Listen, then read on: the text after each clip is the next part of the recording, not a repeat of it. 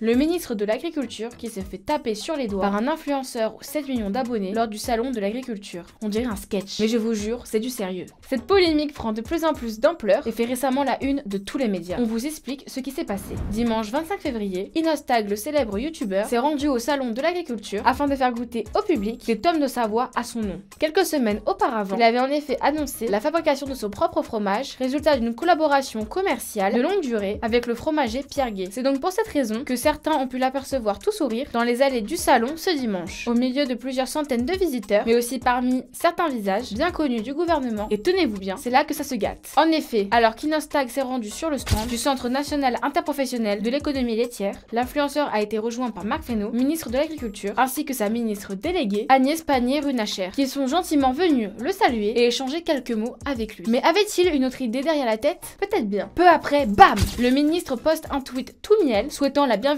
à Inoxtag et lui lançant un petit clin d'œil sur son prochain défi, l'Everest. Sauf que Inoxtag n'était pas au courant de ce tweet surprise. Et ça, ça passe mal, très mal. Problème, Inoxtag explose sur Twitter. Il n'avait visiblement pas été mis au courant qu'une telle publication allait être partagée par le ministre de l'Agriculture, accusant le ministre de récupération politique. Il voulait juste partager son fromage et pas devenir le pion d'un jeu politique. C'est de la récupération politique il a voulu prendre une photo avec moi derrière le stand sans me demander s'il pouvait poster sur les réseaux sociaux. Moi, je venais juste donner mon fromage aux abonnés au Salon de l'Agriculture. Cette photo a été improvisée après une séance photo avec des abonnés comme le témoigne ma tronche sur la photo.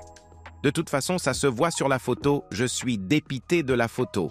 Ses fans sont furax. Certains lui disent même de porter plainte ou de faire supprimer cette publication. Et le ministre dans tout ça, silence radio. Mais quelque chose me dit que cette histoire est loin d'être finie. Ça sent le bad buzz à plein nez pour le gouvernement. Alors, récupération politique ou malentendu monumental? Qu'en pensez-vous? Dites-nous ce que vous en avez pensé.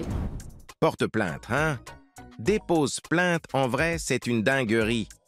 C'est une folie de faire ça, heureusement tu l'as dénoncé. Quelle naïveté de penser qu'une photo prise au détour d'une rencontre de ce type ne sera pas utilisée à des fins promotionnelles. C'est très très grave par contre. Ils se sont servis de ton image sans ton accord. Pour plaire aux jeunes, c'est une folie de faire ça. Comment se mettre dans la sauce en moins de 5 minutes? Les politiques sont terribles sur les réseaux.